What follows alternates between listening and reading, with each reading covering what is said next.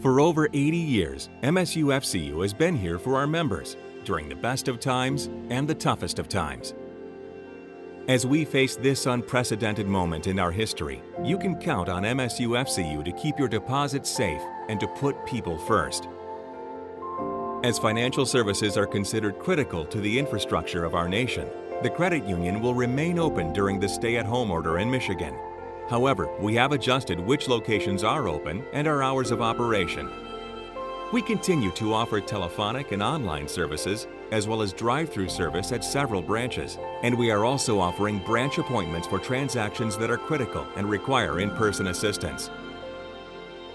We encourage you to check our website to view a list of which branches are open, which offer drive-through services, and which are taking appointments. You may also view the latest updates regarding COVID-19 and how we're adapting along with you on our site.